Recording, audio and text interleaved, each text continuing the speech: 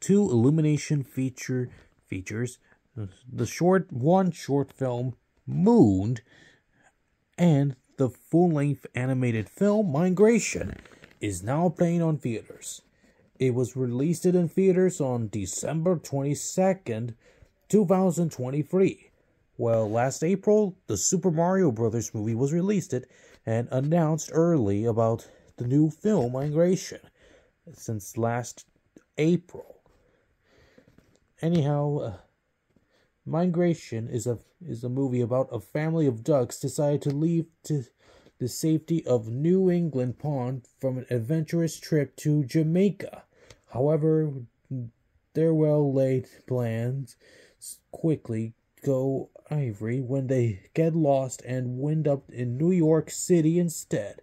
The experience soon inspires them to explain their horizons, open themselves up to new friends, and accomplish more than they ever threw possible. So, so that's that too. But we will see it sooner. Anyhow, about Illumination's newest short film, The Same thing Since Our Minions since 2016.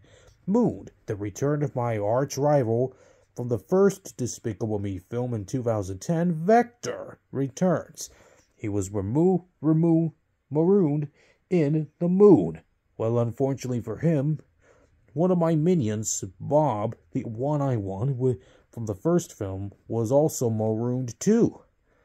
But Vector managed to get out to Earth and want to get revenge on me. But he will try to find a way to escape. Well, on ironically, we haven't seen Vector again in, in the last few three films since it is unknown if he perished in the moon or founded and arrested by the AVL. Nonetheless, there's no information about it quite yet. Anyhow, the comments and and don't forget to see Migration only in theaters this Christmas today. This is Gru signing off.